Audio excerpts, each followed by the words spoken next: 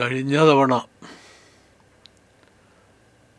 നമ്മൾ ഇന്ത്യ ചരിത്രരചന അതിന്റെ ആദിമ ഘട്ടങ്ങളെക്കുറിച്ചാണ് പറഞ്ഞിരുന്നത്. ഇത് സ്വാതന്ത്ര്യ സമരം ഇതേ കാലഘട്ടത്ത് തന്നെ വളർന്നു വരുന്നുണ്ടായിരുന്നു.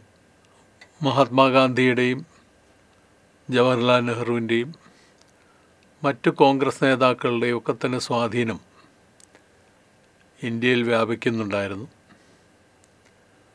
ഇതുകൂടാതെ ഭഗത് സിംഗ് മുതലായ വിപ്ലവകാരികളുടെയും കമ്മ്യൂണിസ്റ്റ് സോഷ്യലിസ്റ്റ് പ്രവർത്തകരുടെയും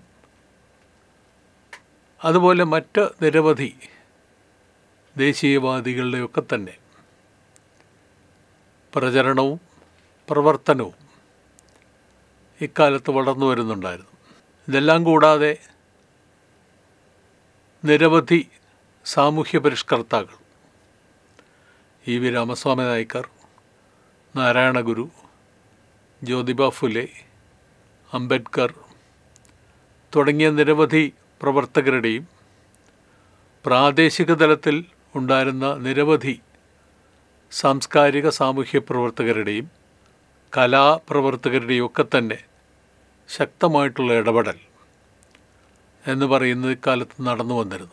ഈ സാഹചര്യങ്ങളിൽ ഇന്ത്യൻ ദേശീയത എന്നതിനെക്കുറിച്ചും ഇന്ത്യൻ സംസ്കാരം എന്നതിനെക്കുറിച്ചും വളരെ വ്യത്യസ്തമായ നിരവധി നിലപാടുകൾ ഇക്കാലത്ത് വളർന്നു വന്നു.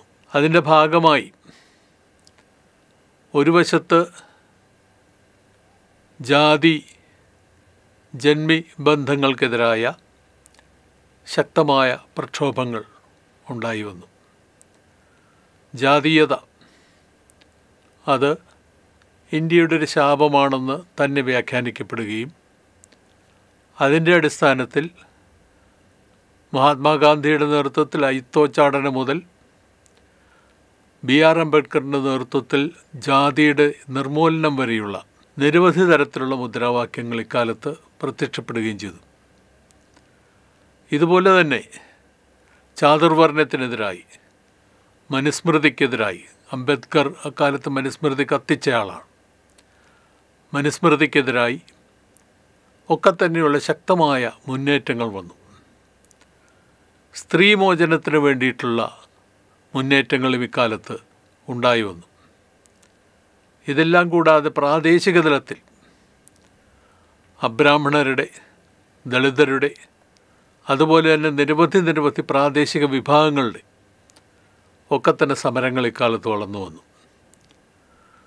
കർഷകരുടെ പ്രക്ഷോഭങ്ങൾ ഇന്ത്യയൊട്ടാകെ തന്നെ അലയടിക്കുകയും പത്തൊമ്പതാം നൂറ്റാണ്ടിന്റെ അവസാനം മുതൽ ഡക്കൻ പീഠഭൂമിയിൽ ജാർഖണ്ഡ് ഇന്നത്തെ ജാർഖണ്ഡ് എന്നറിയപ്പെടുന്ന ഛോട്ടാ നാഗ്പൂർ പ്രദേശങ്ങളിൽ വടക്ക് കിഴക്കേ ഇന്ത്യയിൽ ഇന്നത്തെ ബംഗ്ലാദേശ് പ്രദേശങ്ങളിൽ കേരളത്തിൽ തമിഴ്നാട്ടിൽ അങ്ങനെ നിരവധി പ്രദേശങ്ങളിൽ കർഷകരുടെ പ്രക്ഷോഭങ്ങൾ വളർന്നു വന്നു.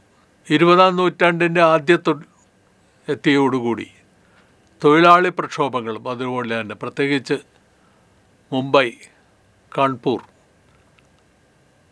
ഇൻഡോർ ചെന്നൈ ഇന്ന് ചെന്നൈ എന്നറിയപ്പെടുന്ന മദ്രാസ് കൊൽക്കത്ത തുടങ്ങിയ നിരവധി പ്രദേശങ്ങളിൽ തൊഴിലാളി പ്രക്ഷോഭങ്ങൾ അതുപോലെ തന്നെ ശക്തിപ്പെട്ടു. ഇങ്ങനെ ജനങ്ങളൊട്ടാകെ ദേശീയവും പ്രാദേശികവും അതുപോലെ തന്നെ അവരവരുടെ സാമൂഹ്യവും സാമ്പത്തികവുമായ മുദ്രാവാക്യങ്ങളുടെ അടിസ്ഥാനത്തിൽ അണിചേരുന്നൊരു ഘട്ടത്തിലാണ് ഇന്ത്യൻ ദേശീയതയെക്കുറിച്ചും ഇന്ത്യൻ ദേശീയ ചരിത്രത്തെക്കുറിച്ചൊക്കെയുള്ള ധാരണകൾ വളർന്നു വരാനായിട്ട് ആരംഭിച്ചത്. അങ്ങനെ വളർന്നു വന്നപ്പോൾ അതിന്റെ അകത്ത് ചൂണ്ടിക്കാണിക്കപ്പെട്ട ചില വസ്തുതകളുണ്ടായിരുന്നു. അതിലൊന്ന് ഇന്ത്യൻ ദേശീയതയുടെ ചരിത്രത്തെ ഒരുപക്ഷെ ഏതെങ്കിലും ഒരു മതപരതയുടെ അത് ഹിന്ദു ആയാലും വേണ്ടില്ല ഇസ്ലാം ആയാലും വേണ്ടില്ല അങ്ങനെ ഏതെങ്കിലും തരത്തിലുള്ള ഒരു മതപരതയുടെ അടിസ്ഥാനത്തിൽ മാത്രം വ്യാഖ്യാനിക്കുന്നത് ശരിയല്ല. കാരണം മതപരതയ്ക്ക് സ്വാധീനമുണ്ടായിരിക്കാം പക്ഷെ അതേസമയം തന്നെ വ്യത്യസ്ത ജാതീയതകൾക്ക് അവരുടേതായ ചരിത്രം അവരുടേതായ ഓർമ്മ ഓർമ്മക്കുറിപ്പുകൾ അവരുടേതായ ശേഷിപ്പുകൾ നിലനിൽക്കുന്നുണ്ട്. ഹിന്ദുമതത്തിനോടൊപ്പം തന്നെ ബുദ്ധമതത്തിനും ജൈനമതത്തിനും മറ്റ് നിരവധി ചിന്താപദ്ധതികൾക്ക് അവരുടേതായ സ്വാധീനം നിലനിർത്താനായിട്ട് കഴിഞ്ഞിട്ടുണ്ട്. പ്രാദേശിക തലത്തിൽ മറ്റ് നിരവധി നിരവധി മേഖലകളിൽ വളർന്നു വന്നിട്ടുള്ള ചിന്താപദ്ധതികൾക്ക് അതിന്റെ ഫലമായിട്ട് വളർന്നു വന്ന സംഘടനകൾക്ക് പ്രാധാന്യം വന്നിട്ടുണ്ട്. ഇങ്ങനെ വളർന്നു വന്നപ്പോൾ നമ്മൾ കാണാൻ കഴിഞ്ഞ ഏറ്റവും പ്രധാനപ്പെട്ട സംഗതി ഒരു കേന്ദ്രീകൃതമായ ഒരു ദേശീയത എന്നുള്ളതിനപ്പുറം. അതേതെങ്കിലും തരത്തിലുള്ള ഒരു ഹിന്ദു അല്ലെങ്കിൽ ഇസ്ലാം തുടങ്ങിയിട്ടുള്ള ആശയങ്ങളുടെ അടിസ്ഥാനത്തിലുള്ള ദേശീയതകൾക്കപ്പുറം നിരവധി പ്രാദേശിക ചരിത്രങ്ങൾ ഇക്കാലത്ത് രൂപപ്പെട്ടു വരികയുണ്ടായി. ഈ പ്രാദേശിക ചരിത്രങ്ങളിൽ ബംഗാൾ അല്ലെങ്കിൽ പഞ്ചാബ് അല്ലെങ്കിൽ മഹാരാഷ്ട്ര ഗുജറാത്ത് കേരളം ആന്ധ്ര തമിഴ്നാട് തുടങ്ങിയ പ്രദേശങ്ങളെ സംബന്ധിച്ചിടത്തോളം അവരവരുടേതായിട്ടുള്ള സ്വന്തമായ ഒരു സാംസ്കാരികമായ അസ്തിത്വം ഉണ്ടെന്നും ഈ അസ്തിത്വം എന്ന് പറയുന്ന ഇതേ കാലഘട്ടത്ത് തന്നെ വളർന്നു വരുന്നതാണെന്നും വ്യാഖ്യാനിക്കപ്പെട്ടു. അപ്പം അതിന്റെയൊക്കെ പശ്ചാത്തലത്തിൽ ഇന്ത്യ എന്ന് പറയുന്നത് കേവലമായിട്ടുള്ളൊരു ഏകകമല്ലെന്നും മുമ്പ് സൂചിപ്പിച്ച പോലെ ജവഹർലാൽ നെഹ്റു പറഞ്ഞു എന്ന് പറഞ്ഞ പോലെ അത് നാനാത്വത്വ ഏകത്വത്തിൽ അടിസ്ഥാനപ്പെടുത്തിയിട്ടുള്ള ഡൈവേഴ്സിറ്റി വ്യത്യസ്തതകൾ ആ വ്യത്യസ്തതകളുടെ ഉള്ളിൽ നിന്ന് വളർന്നു വന്ന ഒരു ഏകത്വമാണെന്നും ഉള്ള ധാരണ വളർന്നു വന്നു. പ്രത്യേകിച്ചത് ദേശീയ പ്രസ്ഥാനത്തിന്റെ ചരിത്രം എഴുതുന്നവരാണ്. ആദ്യഘട്ടത്തിൽ ഈ പറയുന്ന ആശയത്തെ കൂടുതൽ ഫലപ്രദമായിട്ട് ഉപയോഗിക്കാനായിട്ട് ആരംഭിച്ചത്.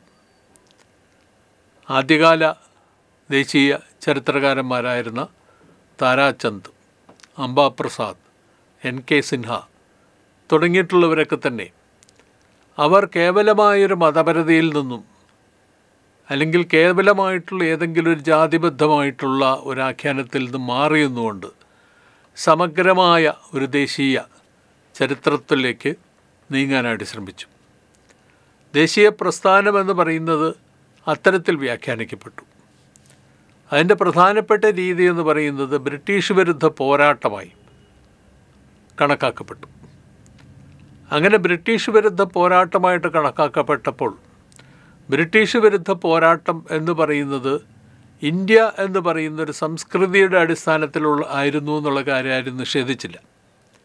പക്ഷേ അതേസമയം തന്നെ അതിൽ പങ്കെടുത്ത ആളുകൾ അത് വ്യത്യസ്ത വിഭാഗത്തിൽപ്പെട്ട ആളുകൾ ആരായാലും അവരടിസ്ഥാനപരമായിട്ട് അവരെല്ലാവരും ഒത്തുചേർന്നത് ഒരൊറ്റ മുദ്രാവാക്യത്തിന്റെ അടിസ്ഥാനത്തിലായിരുന്നുവെന്നും അത് ഇന്ത്യയുടെ സ്വാതന്ത്ര്യത്തിന് വേണ്ടി ഇന്ത്യയുടെ സ്വാധീനതയ്ക്ക് വേണ്ടി ഇന്ത്യയുടെ സ്വരാജ്യത്തിന് വേണ്ടി ഉള്ള ഒരു മുദ്രാവാക്യത്തിന്റെ അടിസ്ഥാനത്തിലായിരുന്നു എന്നുമുള്ള ഒരു ധാരണയുടെ അടിസ്ഥാനത്തിലാണ് ഇവർ ചരിത്രം എഴുതിയത് അതുകൊണ്ട് തന്നെ ഒരു ലിബറൽ പ്രവണതയുടെ ഭാഗമായിട്ടാണ് ഈ ചരിത്രങ്ങളൊക്കെ തന്നെ ഉണ്ടായി വന്നത്. പ്രത്യേകിച്ച് താരാചന്ദനെ പോലെയുള്ളവരുടെ ചരിത്രരചന നടന്ന ഒരു ലിബറൽ പ്രവണതയുടെ ഭാഗമായിട്ടാണ്.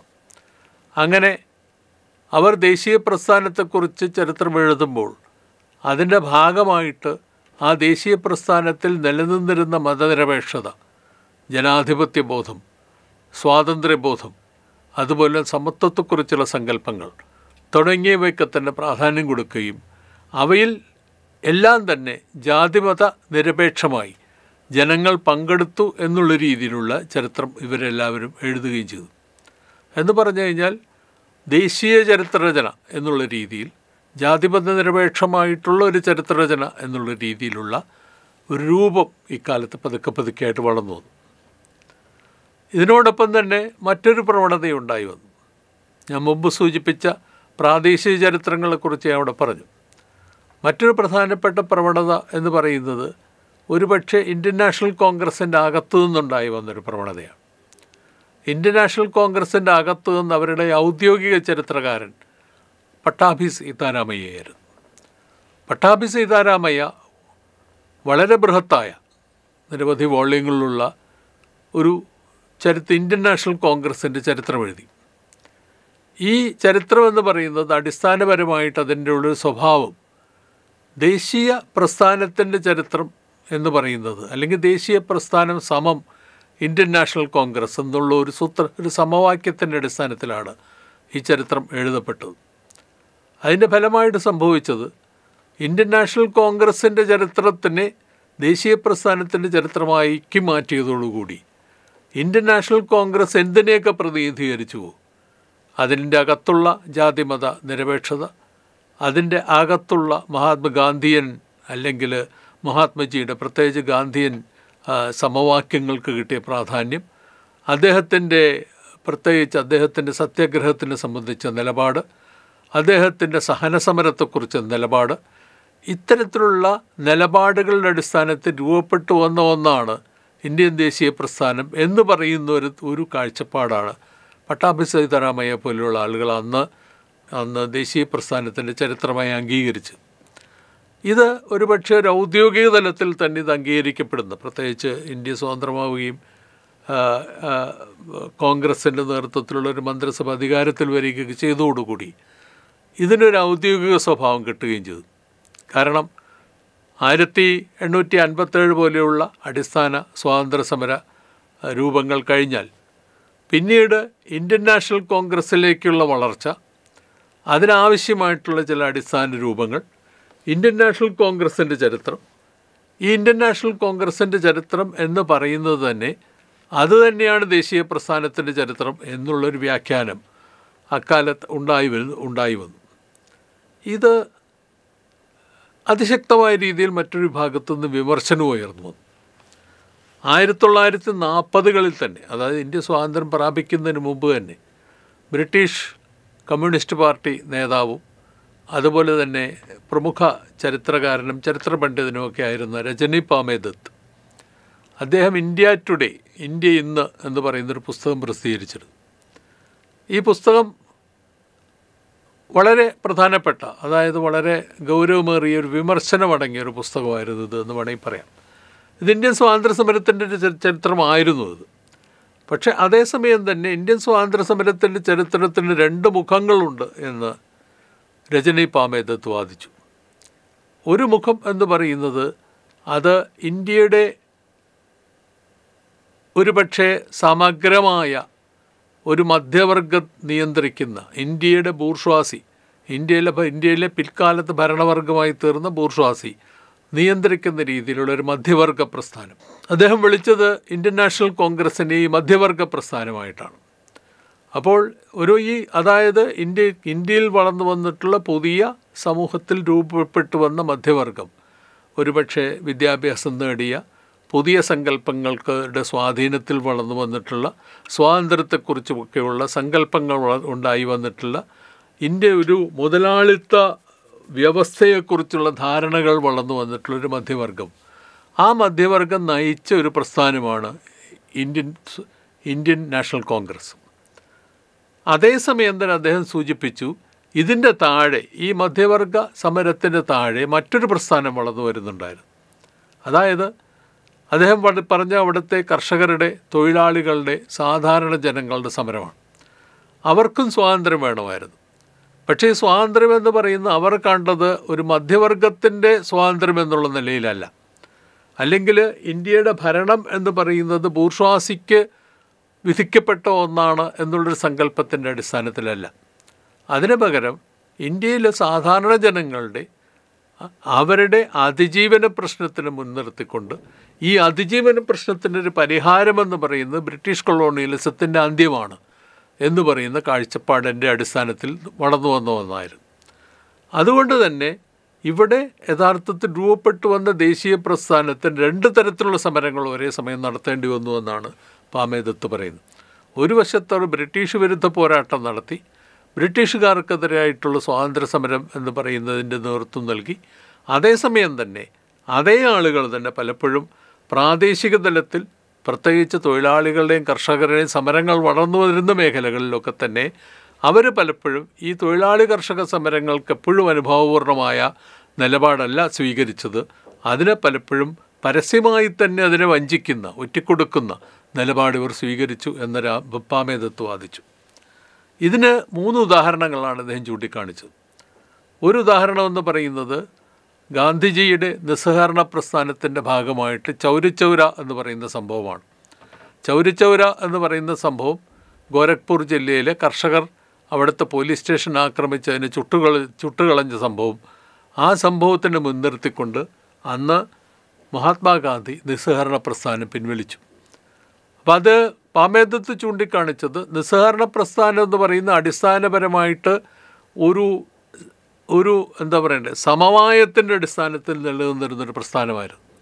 അപ്പോൾ സമവായത്തിന്റെ അടിസ്ഥാനത്തിൽ നേരിട്ടുള്ള പോരാട്ടത്തിന് എതിരാതെ സത്യഗ്രഹ മുറകൾ ഉപയോഗിച്ചുകൊണ്ട് സഹനസഹനം സമരത്തിന്റെ മുറകൾ ഉപയോഗിച്ചുകൊണ്ട് നടത്തിയ പോരാട്ടം എന്ന് പറയുന്നത് യഥാർത്ഥത്തിൽ ജനങ്ങൾക്കത് മാത്രം പോരായിരുന്നു. കാരണം ജനങ്ങൾക്ക് അവരുടേതായ സമരമുറകളുമായിട്ട് അവർ മുന്നോട്ട് നീങ്ങി.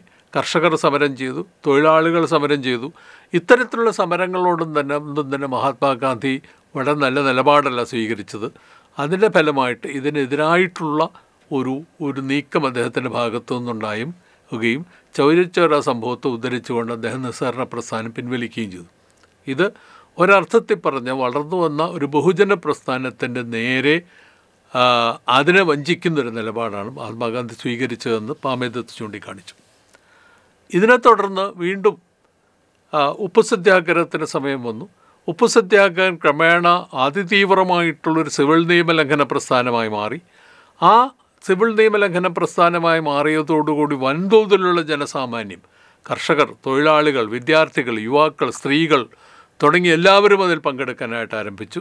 പക്ഷേ അതേസമയം തന്നെ മഹാത്മാഗാന്ധി ചെയ്തത് ഗാന്ധി ഇർവിൻ സിന്ധിയുടെ പശ്ചാത്തലത്തിൽ ഈ സമരം തന്നെ പിൻവലിക്കുകയാണ് ഉണ്ടായത്. എന്ന് പറഞ്ഞു കഴിഞ്ഞാൽ വീണ്ടും ഒരു ബഹുജന പ്രസ്ഥാനമായിട്ട് മാറുന്നതിൽ നിന്ന് ഗാന്ധി യഥാർത്ഥത്തിൽ അതിനെ പിൻവിൽ പിൻവലിയാണ് ചെയ്തത്. മൂന്നാമത്തെ അദ്ദേഹം ചൂണ്ടിക്കാണിച്ച് ക്വിറ്റ് ഇന്ത്യ സമരമായിരുന്നു. തികച്ചും അനവസരത്തിലുള്ള ഒരു സമരമായിരുന്നു എന്ന് ആർ പി ദത്ത് ചൂണ്ടിക്കാണിക്കുന്നു. എന്ന് മാത്രമല്ല സമരത്തിന് ആദ്യം തന്നെ സമരം പ്രഖ്യാപിച്ചു എന്നുണ്ടെങ്കിലും ആദ്യം തന്നെ മഹാത്മാഗാന്ധിയും അതുപോലെ തന്നെ കോൺഗ്രസ് നേതാക്കളും അറസ്റ്റ് ചെയ്യപ്പെട്ടതോടുകൂടി ആ സമരം പിന്നെ യഥാർത്ഥത്തിൽ അതിന്റെ ഒരു എന്താ പറയട്ടെ അതിന്റെ ഒരു ദിശാബോധം അതിന് നഷ്ടപ്പെട്ടു. അതിന്റെ ഫലമായിട്ട് വളരെ എളുപ്പത്തിൽ ബ്രിട്ടീഷുകാർക്ക് അതിനെ അടിച്ചമർത്താനായിട്ട് കഴിഞ്ഞു. ഇത്തരത്തിൽ ബഹുജന പ്രസ്ഥാനമായിട്ട് വളർന്നു വരാൻ സാധ്യതയുള്ള സമരത്തിന് യഥാർത്ഥത്തിൽ അങ്ങനെ അല്ലാതെ മുന്നോട്ട് കൊണ്ടുപോവുകയും അതിനെ വഞ്ചിക്കുകയുമാണ് ഇവിടുത്തെ സ്വാതന്ത്ര്യ സമര പ്രസ്ഥാനം ചെയ്തത് എന്ന് ആർ പി ദത്ത് വാദിച്ചു. വലിയൊരു ചർച്ചയ്ക്കാണ് ഇത് ഇടയാക്കിയത്. ഈ ചർച്ച എന്ന് പറയുന്നത് സ്വാതന്ത്ര്യ സമരത്തെക്കുറിച്ചുള്ള പുതിയ വിലയിരുത്തലുകളിലേക്ക് നയിച്ചു. ഇടതുപക്ഷക്കാർ പ്രത്യേകിച്ച് അതിൽ ഏറ്റവും പ്രധാനമായിട്ട് ഇടതുപക്ഷ പിന്തുണയോടുക അല്ലെങ്കിൽ ഇടതുപക്ഷ സഹയാത്രികരായിട്ട് നിലനിന്നുകൊണ്ട് തന്നെ ഒരു പക്ഷേ സ്വാതന്ത്ര്യ സമരത്തെക്കുറിച്ച് അവരുടേതായിട്ടുള്ള നിലപാടുകൾ സ്വീകരിച്ച ഒരു സംഘം ചരിത്രകാരന്മാർ. അവർ യഥാർത്ഥത്തിന് ഇതിനെതിരായ നിലപാടുകൾ സ്വീകരിക്കുകയും സ്വാതന്ത്ര്യ സമരത്തെക്കുറിച്ച് രണ്ട് പ്രധാനപ്പെട്ട നിലപാടുകളിലേക്ക് നീങ്ങുകയും ചെയ്തു. ഈ നിലപാടുകൾ കൂടി കണക്കിലെടുത്തുകൊണ്ട് വേണം നമുക്കെപ്പോഴും തന്നെ ഇനി മുതൽ ഇന്ത്യ ചരിത്രത്തെക്കുറിച്ചുള്ള വിലയിരുത്തുകൾ നടത്താൻ നടത്താൻ എന്നുള്ളതുകൊണ്ട് ഇതുകൂടി നമുക്ക് പറഞ്ഞു തീർക്കേണ്ടതുണ്ട് അതിലൊന്ന് ബിപിൻ ചന്ദ്ര പോലെയുള്ള ചരിത്രകാരന്മാർ സ്വീകരിച്ച നിലപാടാണ്. ഡൽഹി യൂണിവേഴ്സിറ്റിയിൽ അധ്യാപകനായിരുന്ന പിന്നീട് ജെ എൻ യുവിലെ പ്രൊഫസറായിരുന്ന ബിപിൻ ചന്ദ്ര അദ്ദേഹം വളരെ വളരെ വലിയൊരു ശിഷ്യഗണത്തിന്റെ ഗുരുവായി നിലനിന്ന ആളാണ്. അതുപോലെ തന്നെ ശക്തമായിട്ടുള്ളൊരു നിലപാട്.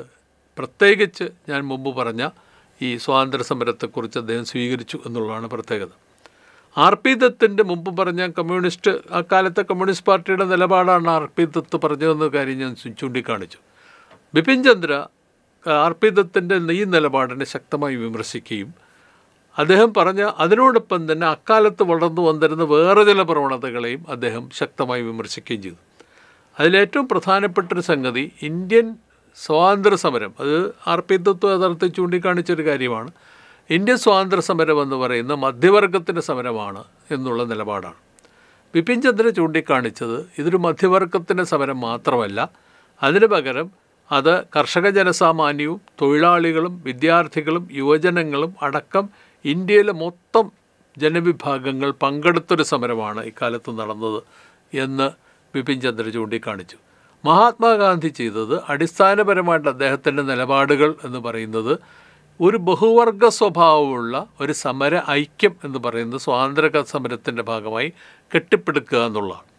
ഈ ബഹുവർഗ സ്വഭാവമുള്ള സമര ഐക്യം എന്ന് പറയുന്നത് ജാതി മത നിരപേക്ഷമായിരുന്നു ലിംഗസമത്വത്തിൽ അധിഷ്ഠിതമായിരുന്നു. അന്ന് മാത്രമല്ല വർഗപരമായിട്ടുള്ള ഭിന്നതകൾ എന്ന് പറയുന്നത് പരമാവധി ഇല്ലാതാക്കിക്കൊണ്ട് ഉള്ള സമരവും കൂടിയായിരുന്നു. ഇത് ഈ പറയുന്ന രീതിയിലുള്ള ഒരു ബഹുജന സമരത്തിന്റെ ഐക്യപരമായിട്ടുള്ള സങ്കല്പം എന്ന് പറയുന്ന ബിപിൻ ചന്ദ്ര ആവിഷ്കരിച്ചു. അതിനെ വീണ്ടും മറ്റൊരു വിഭാഗം ചരിത്രകാരന്മാർ ശക്തമായിട്ട് വിമർശിച്ചു. പ്രത്യേകിച്ച് അത് ആയിരത്തി തൊള്ളായിരത്തി എഴുപതുകളിൽ നടന്ന ഒരു ചർച്ച അതിന് വളരെ പ്രധാനപ്പെട്ട ചർച്ചയാണ്. അതിന്റെ അകത്ത് സുമിത് സർക്കാരിനെ പോലെയുള്ള ചരിത്രകാരന്മാർ രണജിത് ഗുഹയെ പോലെയുള്ളവർ ഇതിൽ പങ്കെടുത്തവരാണ്. അവർ ബിപിൻ ചന്ദ്രയുടെ നിലപാടിനെ അതിശക്തമായി വിമർശിക്കുകയും വീണ്ടും യഥാർത്ഥത്തിൽ ഇന്ത്യൻ സ്വാതന്ത്ര്യ സമരം പ്രത്യേകിച്ച് കോൺഗ്രസ് നയിച്ച സ്വാതന്ത്ര്യ സമരം എന്ന് പറയുന്നത് അടിസ്ഥാനപരമായിട്ട് ഇന്ത്യൻ വരേണ്യവർഗത്തിന്റെ ഇന്ത്യൻ വരേണ്യവർഗത്തിന്റെ ഇന്ത്യൻ എലീറ്റുകളുടെ ഇന്ത്യയിലുള്ള മധ്യവർഗ വരേണ്യ സ്വഭാവമുള്ള മധ്യവർഗത്തിന്റെ സമരമാണ് എന്നുള്ള രീതിയിൽ അവർ വിലയിരുത്തുകയും ചെയ്തു. അതുകൂടാതെ യഥാർത്ഥത്തിൽ ഇന്ത്യയുടെ റെസിസ്റ്റൻസ് അല്ലെങ്കിൽ ഇന്ത്യയുടെ ഏറ്റവും ശക്തമായിട്ടുള്ള സമരത്തിന് മുന്നണി പോരാളികളായിരുന്നു നിന്നിരുന്നത് ഈ പറയുന്ന വരേണ്യ മധ്യവർഗമല്ല അതിന് പകരം അവരുടെ പ്രത്യേകിച്ച് സാമൂഹ്യവും സാമ്പത്തികവുമായ മർദ്ദനത്തിന്റെ ഫലമായി അക്കാലത്ത് ബ്രിട്ടീഷ് കൊളോണിയൽ കാലഘട്ടത്തിൽ ഏർപ്പെടുത്തിയ ടാക്സ് തീരുവകൾ അതിനോടൊപ്പം തന്നെ സാമൂഹ്യ മർദ്ദനം ഏറ്റവും ക്രൂരമായ രീതിയിലുള്ള ചൂഷണ രൂപങ്ങൾ ഇതിന്റെയൊക്കെ എതിരായിട്ട് പോരാടിയ അക്കാലത്തെ ജനസാമാന്യം പ്രത്യേകിച്ച് കർഷക ജനതയുടെ നേതൃത്വത്തിൽ നടന്ന പോരാട്ടങ്ങളാണ് ഏറ്റവും പ്രധാനപ്പെട്ട ബ്രിട്ടീഷ് ഭരണാധികാരത്തിന് തന്നെ ഉയർത്തിയ ഏറ്റവും പ്രധാനപ്പെട്ട വെല്ലുവിളിയായി മാറിയത് എന്ന് ഇവർ വാദിച്ചു. ഇവരാണ് സാധാരണയായിട്ട് നമ്മൾ സബാൾട്ടൺ ചരിത്രകാരന്മാരെന്ന് വിളിക്കുന്ന വിഭാഗമാണ്. അവർ അതുകൂടാതെ ഇത് പിൽക്കാലത്ത് അവർ അതിന്റെ എല്ലാ വിശദാംശങ്ങളിലേക്കും ഇവിടെ പോകുന്നില്ല. അങ്ങനെ വന്നപ്പോൾ ഇന്ത്യൻ സ്വാതന്ത്ര്യ സമരത്തിന് അതായത് രണ്ട് മുഖമുണ്ട്. ഒരു മുഖം എന്ന് പറയുന്നത് ഒരു ഭരണ പിൽക്കാലത്തൊരു ഭരണാധികാരി വർഗമായി മാറിയ ജനവിഭാഗത്തിന്റെ അല്ലെങ്കിൽ ഇന്ത്യൻ മധ്യവർഗത്തിന്റെ അവരുടെ വരേണ്യ നിലപാടുകളുടെ അടിസ്ഥാനത്തിൽ രൂപപ്പെട്ടു വന്ന ബ്രിട്ടീഷ് കൊളോണിയലിസത്തിനായിട്ടുള്ള ഒരു ഒരു ചെറുത്തുനിൽപ്പുണ്ട് അതുകൂടാതെ ഒരുപക്ഷെ അതിനേക്കാൾ ശക്തമായിട്ട് വളർന്നു വന്നത് ഇന്ത്യയിലുള്ള ജനസാമാന്യത്തിന്റെ സാധാരണ ജനതയുടെ അതിജീവന പോരാട്ടങ്ങളുടെ ഭാഗമായിട്ട് വളർന്നു വന്ന ജനകീയ പ്രക്ഷോഭങ്ങളാണ് ഏറ്റവും ശക്തമായ പ്രക്ഷോഭങ്ങളായി മാറിയത് എന്നുള്ള നിലപാട് ഇവർ സ്വീകരിച്ചു. ഏതായാലും അതോടുകൂടി ഇന്ത്യൻ ദേശീയത എന്ന് പറയുന്നതിനെ കുറിച്ചുള്ള കാഴ്ചപ്പാട് അതനുസരിച്ച് മാറി. എന്താണ് ഇന്ത്യൻ ദേശീയത? ഇന്ത്യൻ ദേശീയതയെ നമുക്കെങ്ങനെ കണക്കാക്കാം? അത് ഏതെങ്കിലും തരത്തിലുള്ള ഒരു ഹിന്ദു ദേശീയതയോ അല്ലെങ്കിൽ ഏതെങ്കിലും തരത്തിലുള്ള മതപരതയുടെ അടിസ്ഥാനത്തിൽ നിർവചിക്കപ്പെടേണ്ട ഒന്നാണോ? അല്ല എന്നുള്ള നിലപാടാണ് ഇവരെല്ലാവരും ചേർന്ന് എടുത്തത്. അവർ പറഞ്ഞ ഏറ്റവും പ്രധാനപ്പെട്ട കാര്യങ്ങൾ അങ്ങനെ ഒരു ദേശീയത ഇന്ത്യയിൽ രൂപപ്പെട്ടിട്ടില്ല. അതിന് പകരം ഇന്ത്യയിൽ രൂപപ്പെട്ടു വന്നത് ഒന്നുകിൽ നമുക്ക് വിളിക്കാവുന്ന ഇന്ത്യയിൽ ഒരു മധ്യവർഗ ഒരു ദേശീയ സമൂഹം എന്ന് പറയുന്നൊരു സംഗതി ഇന്ത്യയിൽ വളർന്നു വന്നിരുന്നു. ആ ആ മധ്യവർഗ ദേശീയ സമൂഹം എന്ന് പറയുന്ന ഏതെങ്കിലും തരത്തിലുള്ളൊരു മതപരതയുടെ അടിസ്ഥാനത്തിലുണ്ടായി വന്നതല്ല. അത് അടിസ്ഥാനപരമായിട്ട് പ്രത്യേകിച്ച് പുതിയൊരു മുല മുതലാളിത്ത സംസ്കൃതി ഒരു കൊളോണിയൽ സംസ്കൃതി സൃഷ്ടിച്ചു കൊണ്ടുവന്നിട്ടുള്ള സ്വാതന്ത്ര്യത്തെക്കുറിച്ച് സമത്വത്തെക്കുറിച്ച് സാഹോദര്യത്തെക്കുറിച്ചുള്ള സങ്കല്പങ്ങൾ പുരോഗതിയെക്കുറിച്ചുള്ള സങ്കല്പങ്ങൾ ഇവയുടെ അടിസ്ഥാനത്തിൽ രൂപം കൊണ്ടുവന്ന ഒരു സമൂഹമാണ്. അതിനോടൊപ്പം തന്നെ ഇതിനോടൊപ്പം തന്നെ ഏറ്റവും ശക്തമായി യഥാർത്ഥത്തിൽ ഈ സമരം എന്ന് പറയുന്നത് സാധ്യമാക്കി തീർത്തത് ഈ മധ്യവർഗമല്ല. ഈ മധ്യവർഗം എല്ലാ കാലത്തും ഒരു ന്യൂനപക്ഷമായിരുന്നു. അതിന് പകരം സ്വന്തം അതിജീവന പ്രക്രിയയുടെ ഭാഗമായിട്ട് ചൂഷണ മർദ്ദന രൂപങ്ങൾക്കെതിരായി പോരാടിയ ഇവിടുത്തെ ജനസാമാന്യമാണ്. അവർ നടത്തിയ ജനകീയ പ്രക്ഷോഭങ്ങളാണ് ഇതിന്റെ അടിത്തറയായി മാറിയത്. അങ്ങനെ വരുമ്പോൾ ദേശീയതയെക്കുറിച്ചുള്ള സങ്കല്പങ്ങൾ വേരുകൾ നമ്മൾ തേടേണ്ടത് ഈ പറയുന്ന ജനകീയ പ്രക്ഷോഭങ്ങളുടെ അടിത്തറയിലാണ് അവിടെ നിന്നാണ് യഥാർത്ഥത്തിൽ നമുക്കൊരു ദേശീയതയെക്കുറിച്ചുള്ള സങ്കല്പങ്ങളെക്കുറിച്ച് ആലോചിക്കാവുന്നത് എന്നുള്ളൊരു നിലപാട് പിൽക്കാലത്ത് ദേശീയതയെ കുറിച്ചുള്ള പിൽക്കാലത്ത് നടന്ന ചർച്ചകളിൽ ഏറ്റവും പ്രധാനമായിട്ട് വളർന്നു വന്ന ഒരു ചർച്ചാരൂപമാണ്. അപ്പോൾ ഇത് ഈ ഈ ചർച്ചാരൂപം വളർത്തിക്കൊണ്ടുവരുന്നതിൽ തീർച്ചയായിട്ടും ഞാൻ സൂചിപ്പിച്ച പോലെ മാർക്സിസ്റ്റ് ആയിട്ടുള്ള ഇടതുപക്ഷ സഹയാത്രികരായ ചരിത്രകാരന്മാർക്ക് വലിയൊരു പങ്കുണ്ട്. അങ്ങനെ അല്ലാത്തവരും പ്രത്യേകിച്ച് മുമ്പ് പറഞ്ഞ രണ്ട് നിലപാടുകൾ സ്വീകരിക്കുന്നതിലും ആ രണ്ട് നിലപാടുകളിലും യഥാർത്ഥത്തിൽ വളരെ ലിബറലായിട്ടുള്ള ജനാധിപത്യവാദികളായിട്ടുള്ള നിരവധി ചരിത്രകാരന്മാർ നിരവധി പണ്ഡിതന്മാർ ഇതിൽ അവരുടേതായിട്ടുള്ള നിലപാടുകൾ സ്വീകരിച്ച് മുന്നോട്ട് വന്നിട്ടുണ്ട് എന്നുള്ളത് നമ്മളിവിടെ കാണേണ്ടതാണ്. അപ്പോൾ ഇങ്ങനെ വളർന്നു വന്ന ഒരു ചരിത്ര ഒരു ഒരു സംവാദത്തിന്റെ പശ്ചാത്തലത്തിലാണ് നമ്മൾ യഥാർത്ഥത്തിൽ ഇനി അങ്ങോട്ട് പ്രത്യേകിച്ച് നമ്മളിവിടെ മുമ്പ് ഇവിടെ വിശദീകരിച്ചിട്ടുള്ള ഹിന്ദുത്വ ചരിത്രരചനയുടെ അടിസ്ഥാന പ്രമേയങ്ങൾ അതിന്റെ സാധുത ഒക്കെ തന്നെ പരിശോധിക്കേണ്ടത്